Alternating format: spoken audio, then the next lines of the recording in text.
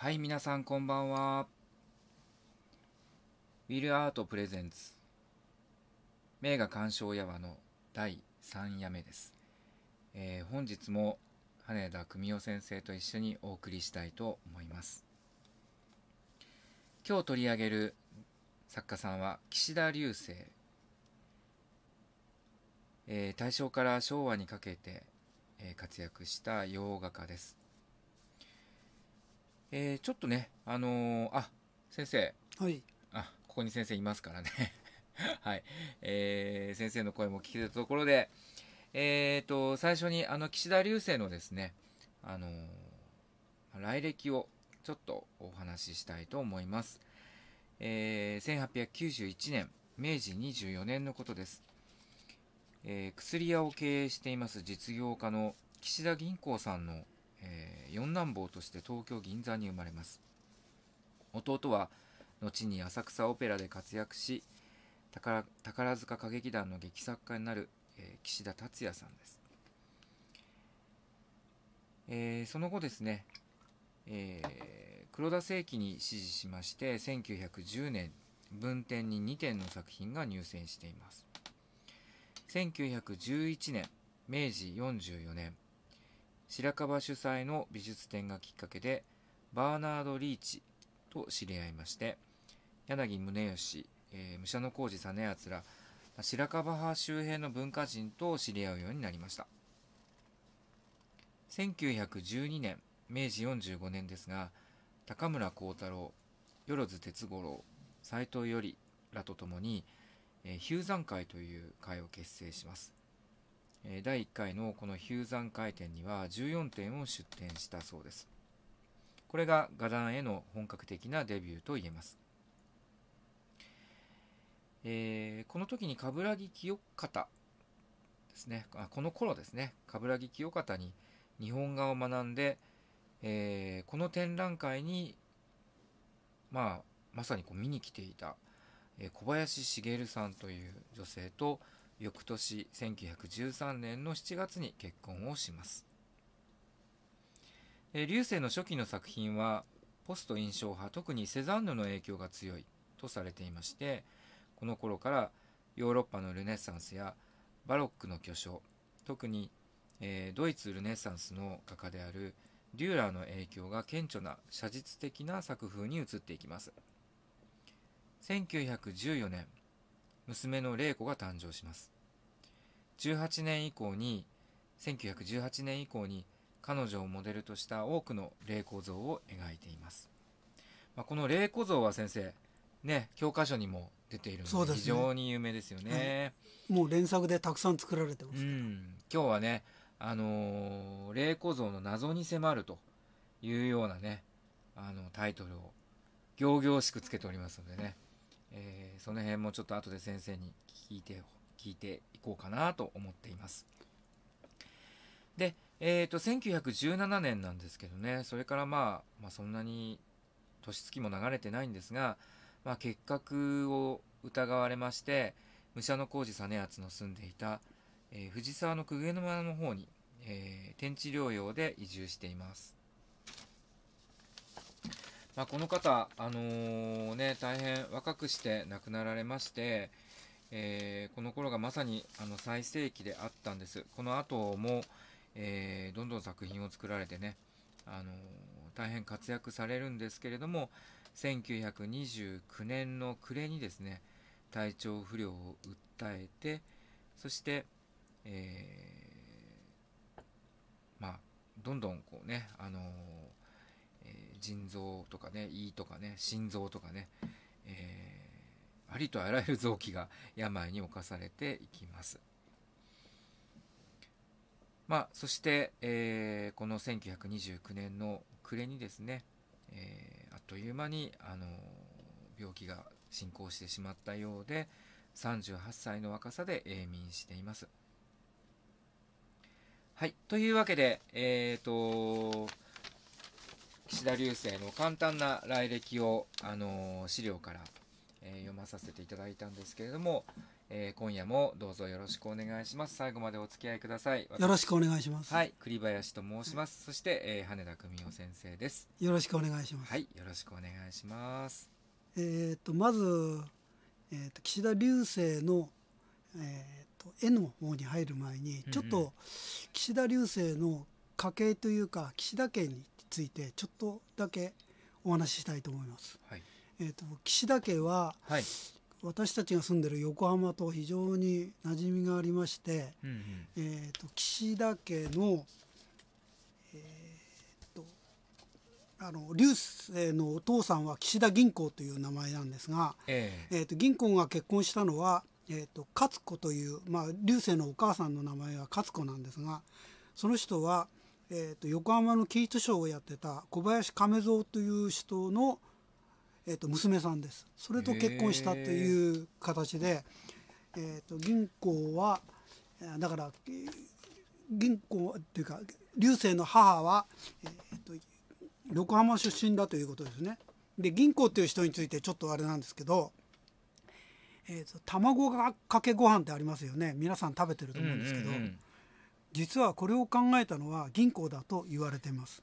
ああじゃあ流星のお父さん。そうです。それから、えー、と銀行っていう人は日日新聞、あのー今の毎日新聞の前身なんですがそれの記者をやっていてそれでヘボン博士横浜にいたヘボン博士と交流があってはい。和英語和英語林修正という、まあえーっと英語の辞書をヘボン博士と一緒に手伝って作ります。はいでこの辺のところのあのお礼ということで、えー目薬をあのの処方をヘボン博士から聞いてそれを銀座で売り出して一つの財を成したっていうのが銀行さんという人なんです。あそうなんですか、はいで銀行さんのでその後あと鹿島屋亀吉っていう人とあの船で乗って横浜から、えー、と東京までの間を結ぶ、あのなんていうの回路をつあの編み出しまして、はい。それがあの元になったのが、えー、と日本の郵便局の発祥になってます。うんうんうんうん。これは横浜にある郵便局発祥の地のあの日に明確に書かれてることです。だからそれだけあの銀行さんという人は横浜に関わりがあって、そういう形でで横浜にくっつあのいろいろまああ関係があると。ねそうですね、んそういう方だったへえで流星ははい。えーっといえー、なんだったっけな、えーっと四男で、はい。えーっとかなり下なんで、はい。えー、と兄弟は基本的には14人もいたんですね。だけど14人のうち14人兄弟？はい。あのね。岸岸田家っていうのは結構みんな早死にでその14人の兄弟があの長生きした人っていうのが実はあんまりいないんです不思議なことはでその辺のところが、うんうんうんうん。あのちょっと銀行もあ銀行じゃないけど流星も早死にしたっていうところにどうもあの家計としての流れとしてあったような気がします。あへえ。であのある娘の玲子が書いてある本の中に出てくるんですけれど、うんうんうん。岸田流星は生まれて何年かずっと後っていうのは要するにシャムの双子じゃないんだけどある種の奇形で生まれてきてて、うんうんうん。それで、えー、とそのもう一個に損するような体の部分っていうのが、はい。体のどどっかにくっついててそれはを切断して除去した手術をしているという事実もあります。だからんそういうところではそういうなんていうのかな、あのはい。ある意味悪性のものを引き継いでいくような家系になったかもしれないっていうことは、あー。これはぼ僕のね予測ですけれど、はい。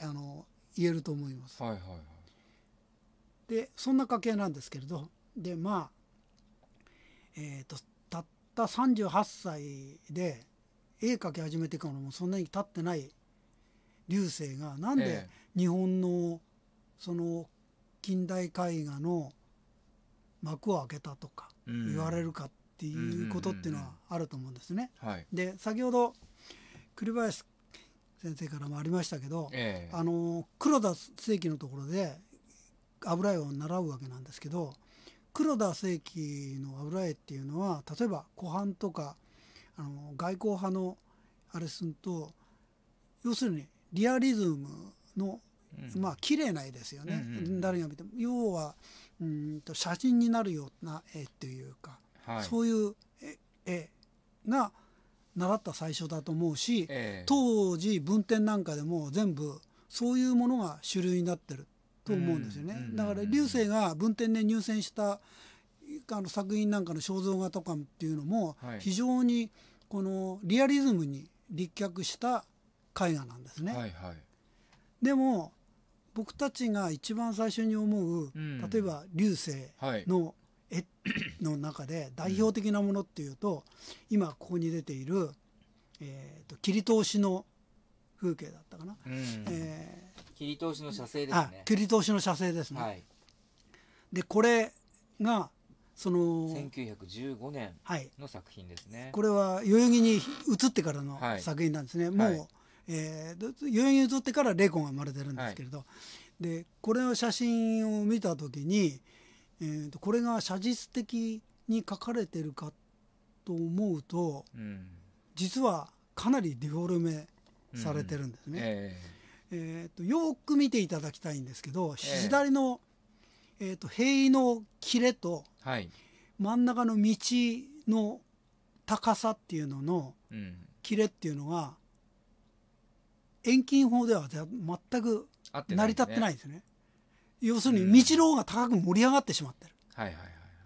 ということはうん。これは写実的に書かれたんではなくて、ええ。ー、とその道にある土の生々しさとかえはい。そういうものをこう盛り上げてはい。描いてるという形の絵だと思うんです。うんその辺のところで写実から離れたという意味で近代的な絵画の代表とうん。あの橋掛けっていうかはい。それっていうふうに言われるんだと思うんです。よ、え次えはい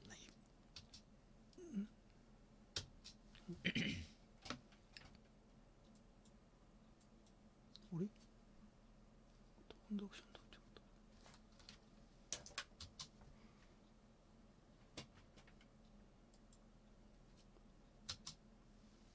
えっ、とこれがはい。描いた、えー、と壺の絵なんですけれどはいはいはい。なんとも奇て烈な絵だと思いません？うん。普通リンゴが乗っかってる？そうなんです。壺を描くとしたら、はい。えー、とわざわざリンゴを乗せて描くだろうか。はい。それから実はこの壺はもう1年ぐらい前に同じ壺だけを描いてる絵があるんですけれど、はい。それには壺に取っ手がついてるんですね、はい。でもリンゴのところの下のところで取っ手が取れてしまってる。はい。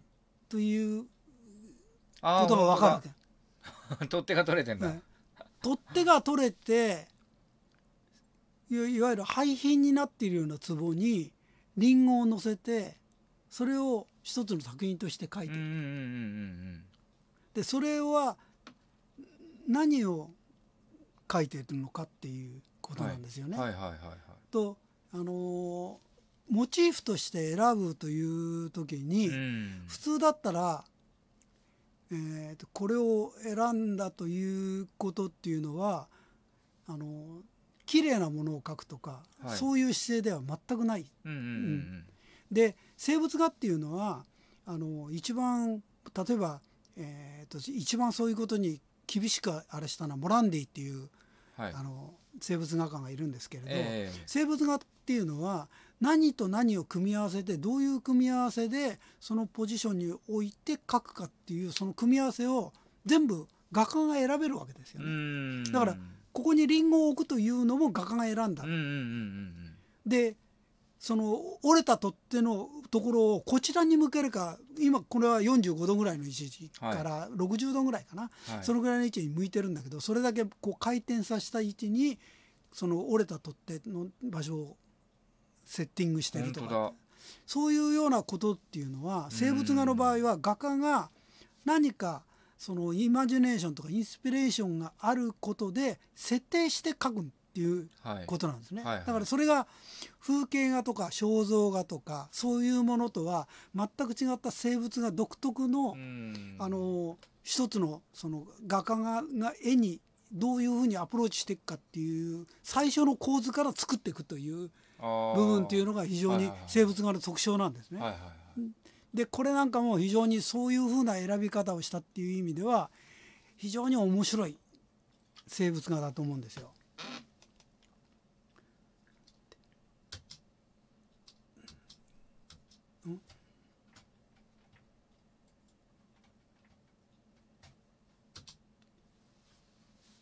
これはえーっとリンゴを3個描いたっていういや同じ生物画シュールですね。これをあのうちの娘に見見せたら、うんうんリンゴとは見えなくてじゃがいもって言いましたけど。でもこのリンゴうん。3つっていうのは、はい。うーんと当時確かこれはあの流星が結核を患って久米沼に行ってから描いてるはい。はあれいはいはなんですね。いで、はい。その自分と妻と玲子子供がこうテーブルの上に乗ってそれぞれがしっかり立って、はい。それぞれが、えー、とテーブルに影を映してええ。そういう何？この3つのリンゴは家族を表してるんだ。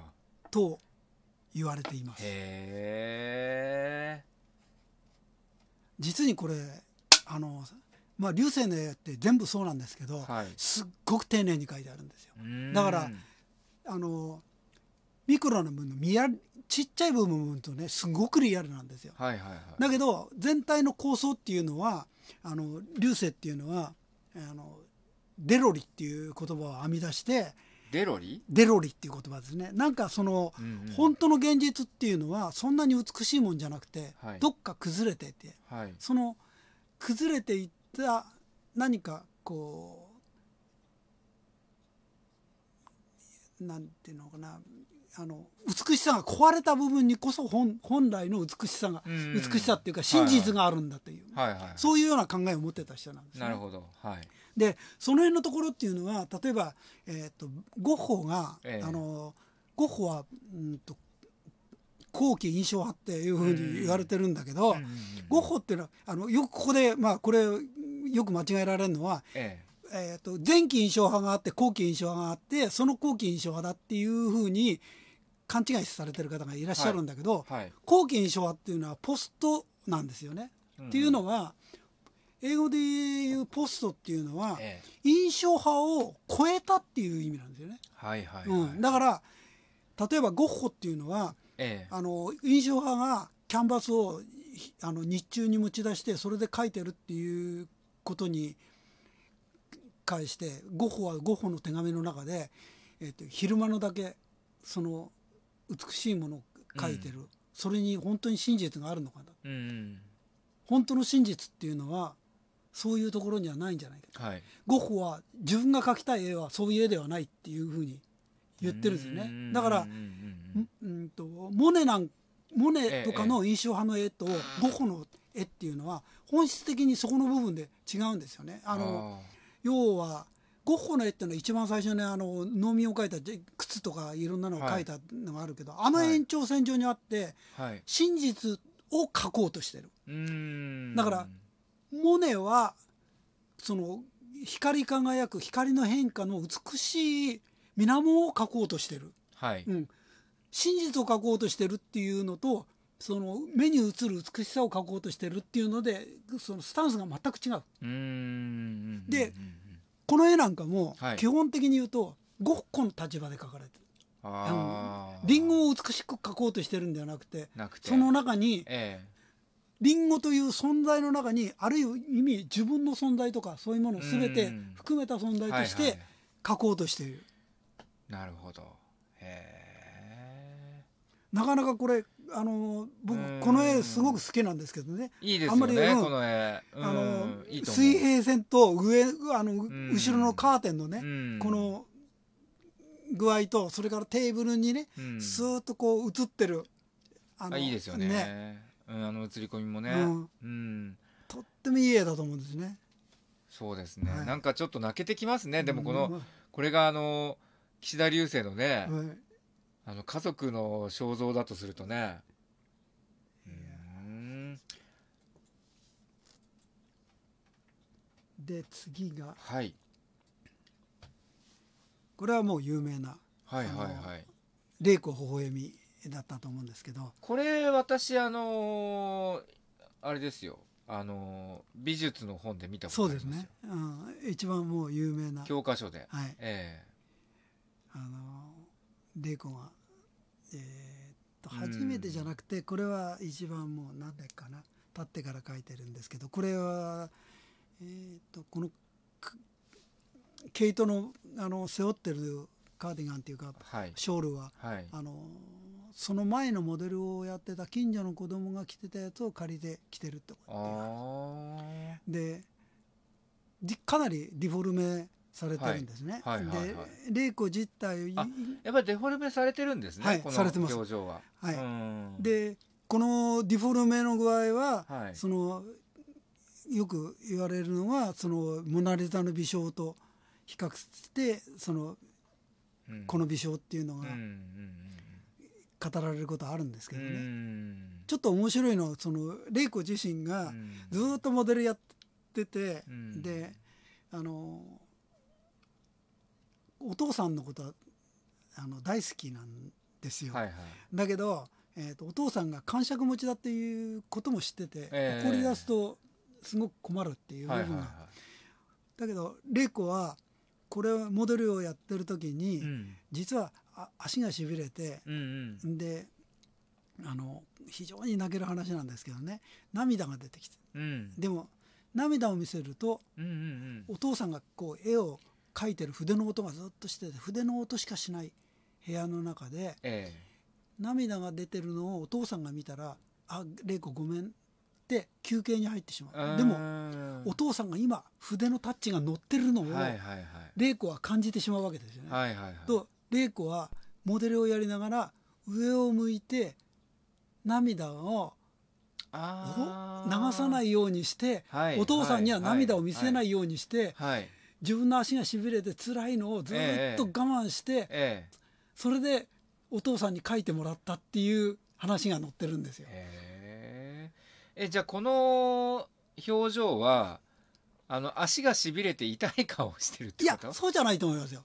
だからえそれはあのもう流星が書きたかったものってはいはいはいはあって。あって。ででそれを書きたいっていうのがあるんだけど多分その流星が書きたいと思ってるもののうん。エネルギーっていうか、うんそれに玲子はモデルなんだけど、うん。もうこう一体化してるからうん。ここで自分がモデルをやめやめてしまったらえこの絵絵を今中断することは非常にこうなんていうのかな流星とお父さんに負担かけることなんじゃないかなっていうシチュエーションではい。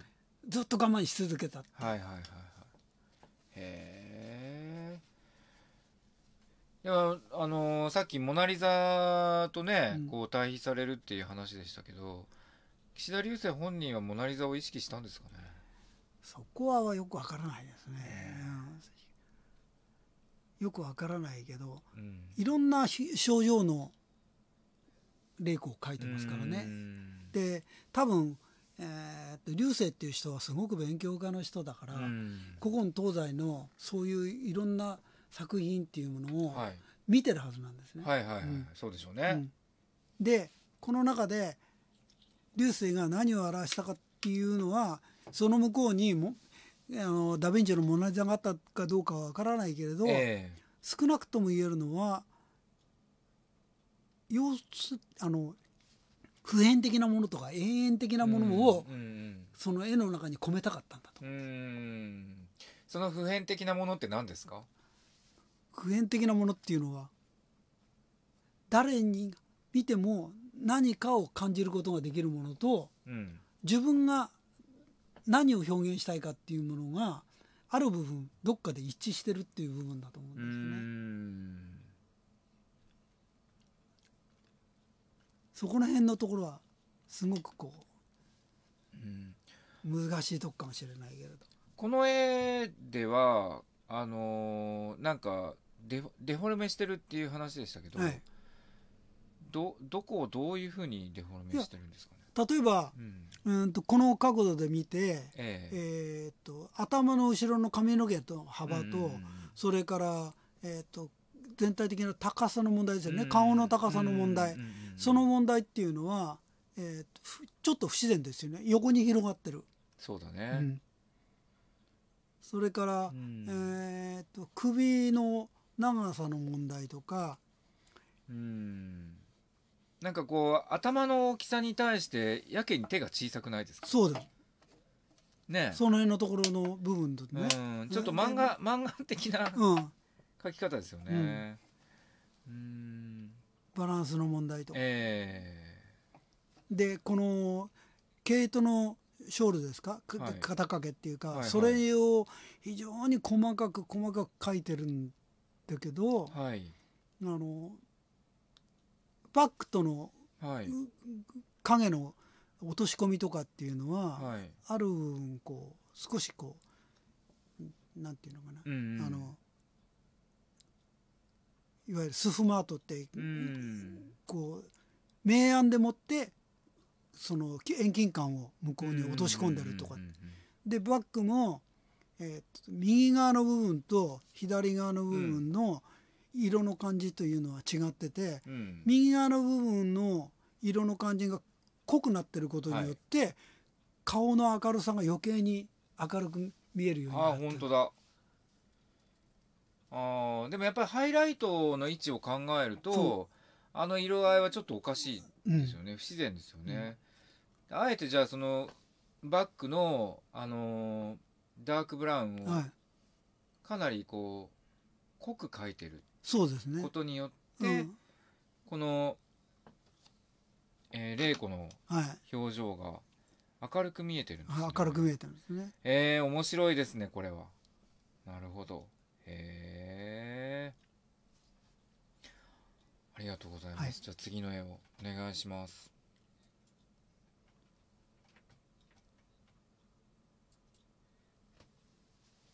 これがうんうん。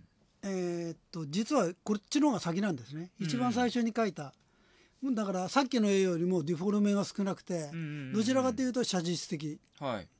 だけどうんとこの絵の中で上にもう玲子と名前が書いてあってはい、でまあ、うん、可愛くてしょうがない自分の子供を描いてるんですけど、うんうんうん。この絵の特徴はまあこれが確か油絵で描いた作品としては一番最初だったと思うんです。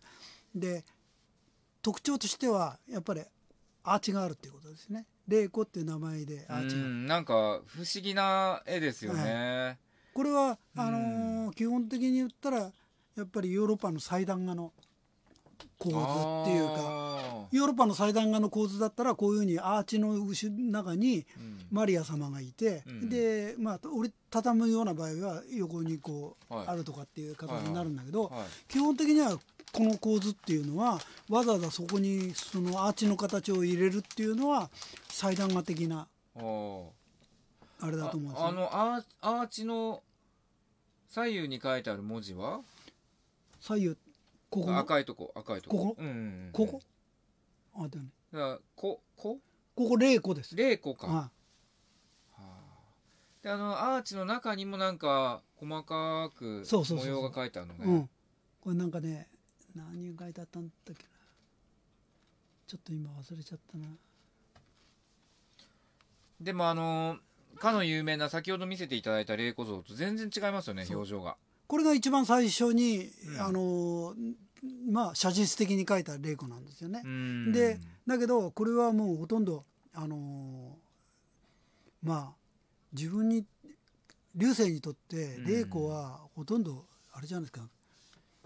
あのマリアじゃないけれど自分の子供マリアってのもおかしいかもしれないけれど、えもうそれこそ愛してやまないえうん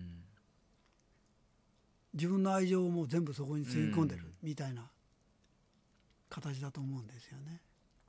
でも愛に溢れてますねこの絵は、いい絵ですよねこうれもね。ん。あのどっちかというと玲子美少のさっきの絵の方が、うん。あのなんていうの教科書的にとかってあれでは有名ですけど、うん。こっちの絵絵も非常にやっぱりあのうん。あの玲子美少が教科書に掲載されてる意図って何なんですかね？えーっとやっぱり一つはディフォルメ近代的な要するに流星っていうのは、はい。日本の近代絵画があとあの、えー黒田さんなんかの要するに外交派の,、はい。あの写実のところからはい。一個乗り越えた九山会が、うんあの与津哲五郎とか、うん。あの高村光太郎なんかと作ってやった時に、はい。あのそこの部分でやっぱりその絵というものをただ写すんじゃなくてその中にうん。自分の持ってるものをうん。持ち込むっていうか、んんんそこの部分のちところだと思うんですよね。はい。それをやった。はい。だからさっき言ったあの印象派と印象派ももう、写実から比べれば随分変わってるんだけど、えそれでもまだあれなんだうんその中の自分の持ってるそのなんていうのかな気持ちとかインプレッションみたいなものっていうのを、え。ええ。そのあインプレッションは持ち込んでるんだけど、うんうんうんうん。その感情とか絵に向かい合う姿勢とかっていうものを絵の中に投げ込んでいくっていう姿勢っていうのは、はい。やっぱりポスト印象派のゴッホとか、うん。セザンヌの時代からこうなってきたうん。じ時代だと思うんですね、だから絵が必ずしも絵はその人を表現するためのものっていう、はいそういう形の部分では、えー、とさっきのやっぱり玲子美少の方が、うん。あのよりこうディフォルメしてその中に絵の中にうん。流星のものを持ち込んだってはいいう形だと思うんですね。こちらのうん。6歳の時の,、うん。ねあの玲子の方はもう本当にそのままのものをはい。愛情だけで描いてる、はいはいはいはいだから絵としていなあのこうパッションみたいなものをえこの中には持ち込んでない。えなるほどね、なるほどね。まあでもまあでもパッションはあるんでしょうけどね。うん。まあもう本当に愛情で描いてってて、はいはい。だからそう。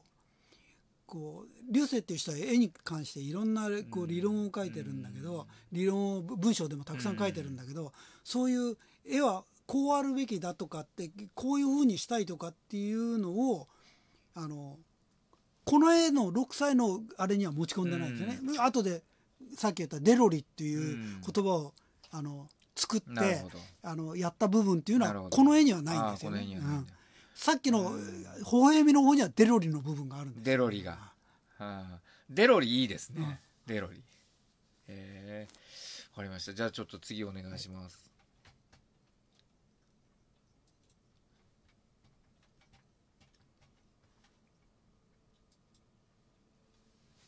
これは流星の描いた日な本なんですかねこれは。は日本画なんですけれど日本画なんだ、はい。うーん。でえー、と岐阜人形っつったかな。はい。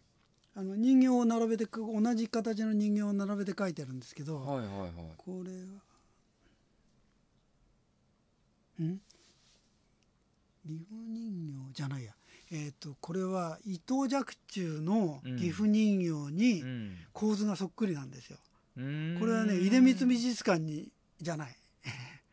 出光じゃなかった。かなどこだったっけな。うんうんうんえー、と大和山種美術館に行くとあの若冲のやつがあります。はいはいはい。でこういう絵も描いてるんですよね。あのすごく勉強家だからえ日本画をあのさっき言ったあの勝木清方に習ってからえはい。ずーっとやってる。うんそういうことではあの並行してやってる。うん。日本画も同時に描いてるっていう部分っていうのはずーっとあるんですよね。だからそういう意味であの前回やった津田清風みたいに、うん。洋画をやめちゃって日本画に行ったっていうのとは全然違うんですよ。なるほどね、うん、津田政府はそうでしたよね、洋画を描かないっていうことをやったんだけど、自分の画家としての命は断ち切れないから日本画に移ったっていう。んんんうん。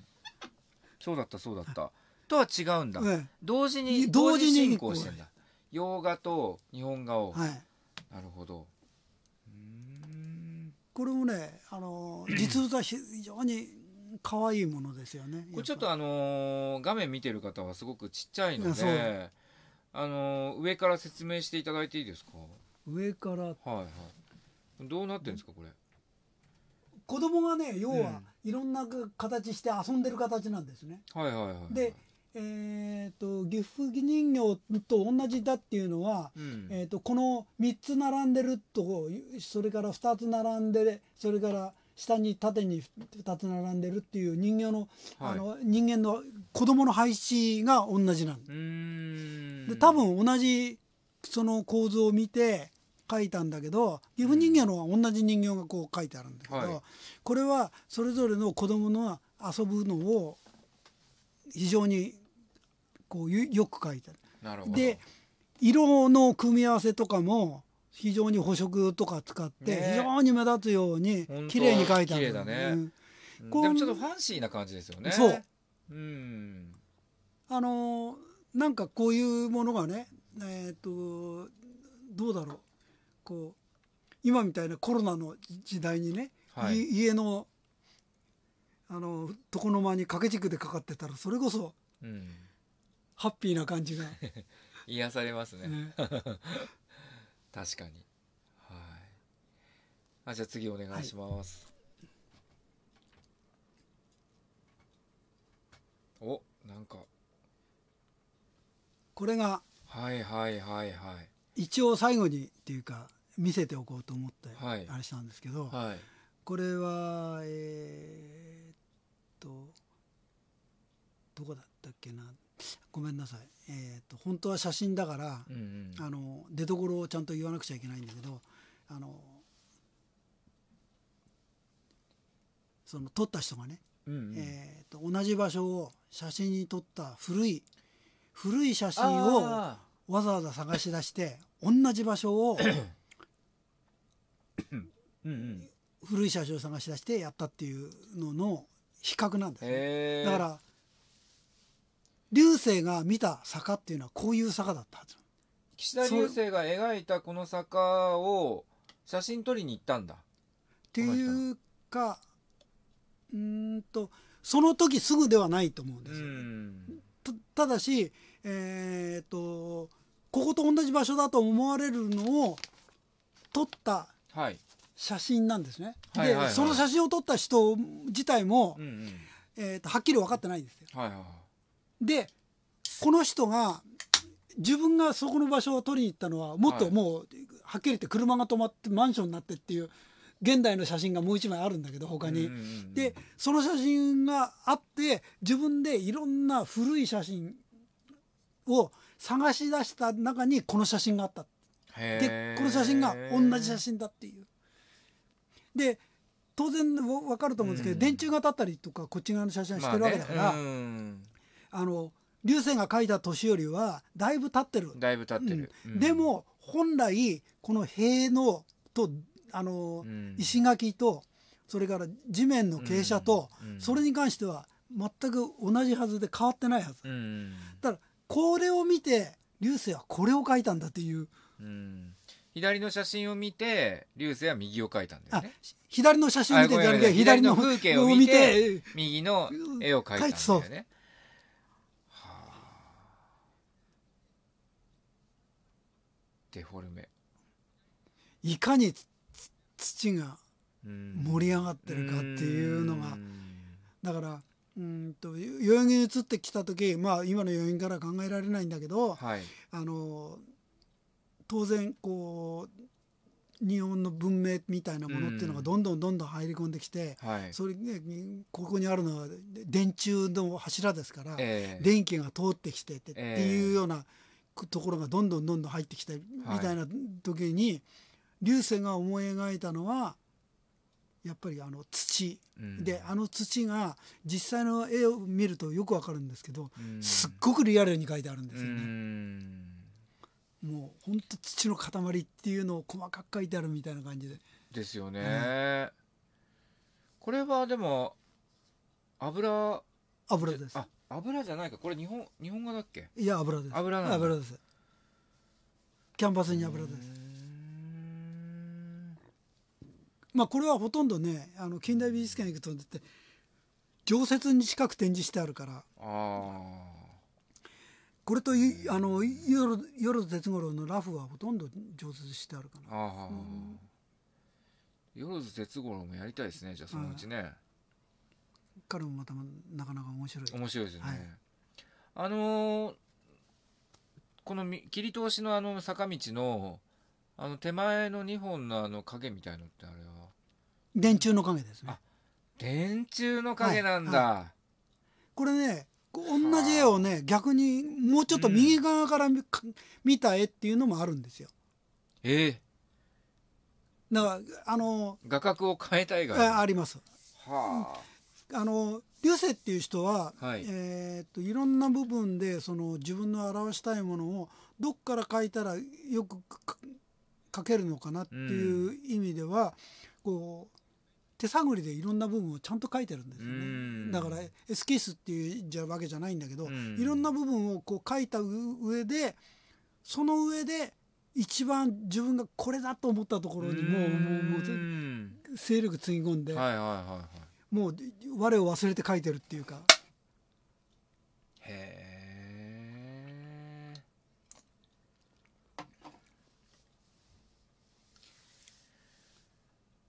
さあまあねあのー彼がそのこの日本の近代美術において非常にこう意味のある存在なんですね。そうですね。うん。だからそんなになんで玲子なのかっていううん。ことっていうのは玲子のシリーズっていうのは。玲子ちょっともう一回見ましょうよ。玲玲子像、い、ろんな玲子がいるんだけど今日ちょっとあの用意してあるスライドはこのかの有名なね。これが一番最初ですね、うん。あ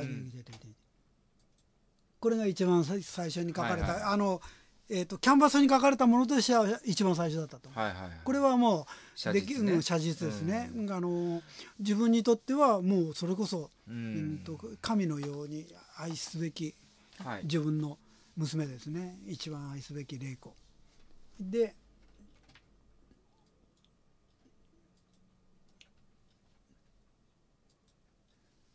これが、はい。まあ、玲子の章っていう、えディフォルメされて、はい。非常にある意味謎があるってえいうかそのいわゆるデロリのある玲子デロリのある玲子はい。デロリのあるっていうのがいいですよねなんかね。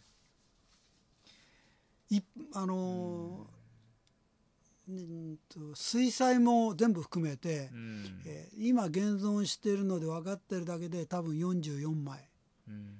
霊子像を描いてるんですね。う。ん。でその中でやっぱりずーっと変わってきてるっていうのも、ある。でずーっと変わってきてるところが流星のえその変革であると同時にえはい日本のす絵画の新しいところをどんどんどんどん変革していった道筋である。うん。だから霊子像っていうのを1枚だけ見るんではなくてここでは申し訳なくて2枚しか出さなかったからうん。もっと出せばよかったかもしれないんだけどあのずーっと順を追って見ていくとうん。流星っていう人がどれだけ絵画の中をこう何かを求めて変革して、ええ。ちょうどピカソがえずーっとこう自分が打ち立てたものを壊してまた打ち立てたものを壊してってやってたみたいえに、はい。霊構造の中にはい。流星の進化がある。うん。で流星の進化っていうことがあんだけ短くて終わってしまったにもかかわらず日本のうんその後の絵画にええ。非常に大きな影響を与える。はいはいはいはい。だから比喩山会のさっき言った万哲五郎とやっぱり玲子っていうのは、はい。黒田とかはい。藤島とかいう、はい。要するに芸大を中心とした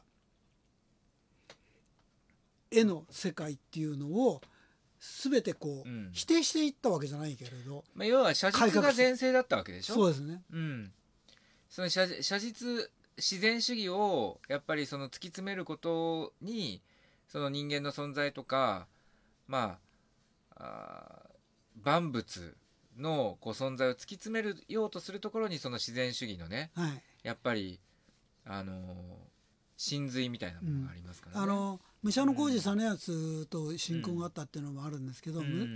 ああの武者小路実康のうん。あれっていうのも、その人々の生活を描くっていうことよりも、はい。新しき村みたいに、うん。その何か理想を求めていって、うん。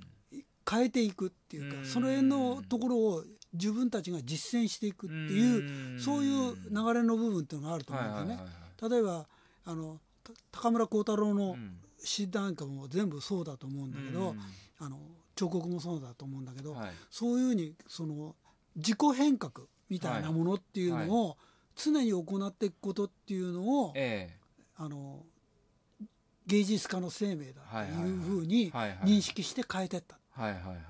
だからあのこういうふうにあるべきものがものがあってこういうふうに真似してこれを作ればいいんだっていうことじゃなくて自分はその生き方そのものを変えていってうんより良き生き方っていうかもっといいっていうみたいな生き方をうん。していってっていうことの中ではい。そのす作品が生み出されていく。はいはいはいはいはい。その辺のところがあの、えこう単なるそのなんていうのかな、うん。えー、と職業的に絵を描くっていうのと、うん。その生き方として絵を描いていくっていうのの違いの部分っていうのが出てきて、うん。でその生き方として絵を描くんだっていうようなはい。ところっていうのがはい。やっぱり大きな影響を与えて次の世代の芸術家にうん。いろんな影響を与えていったっていうことっていうのは言えると思うね。なるほどね。まず要するに日本は少しそういう意味では美術がこううーん遅れていたっていうとちょっと語弊があるけど、あの当時としてはねうんやっぱり同じなんですよ。あのうん。要はヨーロッパのその、はい美術アカデミーの美術を真似して、うん。それを日本に持ち込んできて、はいはい。それから日本の美術がスタートしてるみたいな部分があるんだけど、えーでそこからスタートしていくんだけどその部分でうんと日本はまだずーっとそれがずーっとヨーロッパの他の部分だね。うん。富国強兵だとかいろんなことで向こうのヨーロッパを真似していったっていう形っていうのがずーっと続いていくんだけど、はい。美術に関してははい。こういうあの流星みたいな人たちが出てきてうんもっと違うんじゃないの？うん。本当のところは違うんじゃないのっていうことをうんそのちゃんと感じ取るっていうか。う。ん。なるほどね。まだこの時代流星がなくなるぐらいの時代っていうのはおそらくあのキュビズムとかがまだ日本にはそこまで入ってきてない時代ですよね。そう。いやでいやいやもうそろそろそろそろでしょ、うん。でえっ、と1929年に亡くなられてるから、はい。あのシュルレアリズムはもうちょっと後ですよね、うん。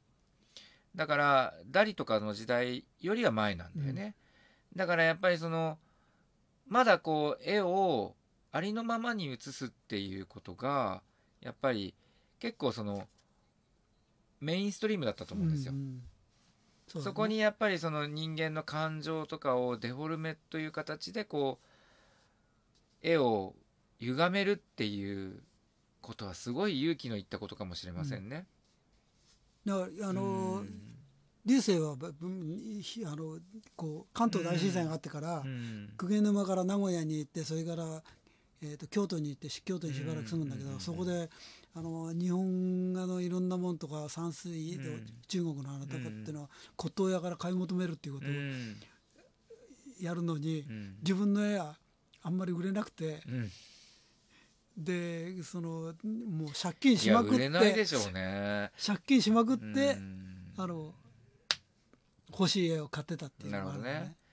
だからやっぱり羽田さんがいつも言ってるこのパッションがあるんですよ、うん。この作家にもね、だ当時は売れなかったんだよ、うん。こんなん誰もやっぱり見向きもしない変築林な絵を描くっていう風な見られ方をしたのかもしれないですよね、ある意味で。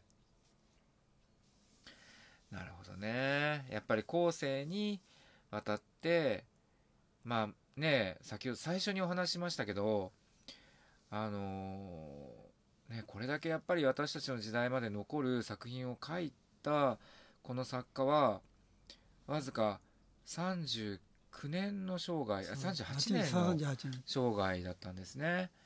だからやっぱり自分がこれほどまでにやっぱりあの美術史に影響を残す存在だったとはもちろんご本人は知らないうんで亡くなったわけですよ、うん。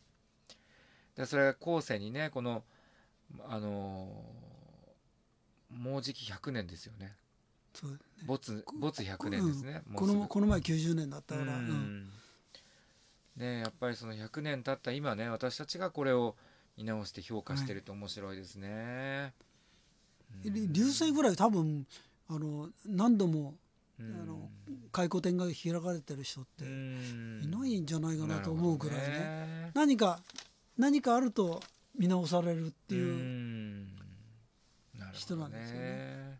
あの流星日記っていうのがあって、ええ。岩波からもうか、えー、と全部のやつっていうのは全部で日記だけであの確か5巻ぐらいはいはいあはい。でその中から選んだやつのちっちゃいやつが文庫本で出てるんですけどあの流星日記とその作品ですよね、うん。それとの比較っていうのは、うん。その美術をのし美術っていうか美術史をね、うん。やる人にとっては非常に面白いんですよね。ちょうちょうどゴッホの日記がテオに書いたはいはい手紙、ゴッホの手紙ですね、ええ。それとゴッホの作品とをずっとその照らし合わせていくっていうのが非常にその美術史観にとってはうん。非常に興味あって面白い。っていうのと同じようなシチュエーションとしてあるんですよね、はいはいはいはい。ずーっとそれ記録として撮ってるっていうところが。その辺のところはあの一部しか僕読んでないですけど、はいはいりあの流星日記読んでてもあの当時のその有名な芸術家との交流っていうのがうんもうたくさんあって、あの柳とかそうだしリーチなんかもそうだしそこうそれがいつ来てどどこであってどっていうようなのが全部日記に書いてあるからすごくこうもう興味津々で面白い。なるほどね。そうですか。はいえー、時間が今日もオーバーしてしまいました。もう白熱トークになってしまいまして。はい。本当にあのお付き合いいただいた皆さんありがとうございます。えー、次回は9月の第2週目の水曜日に予定しています。またあのータイムラインで告知を出しますのでぜひあのご覧になっていただけたらなと思います。それじゃあは羽田先生今日もありがとうございました。いいえどういたしまして、またあの拙い話で申し訳ありませんけど。とんでもありません。よろしくお願いします。じゃあライブ配信を終了します。本日はありがとうございました。おやすみなさい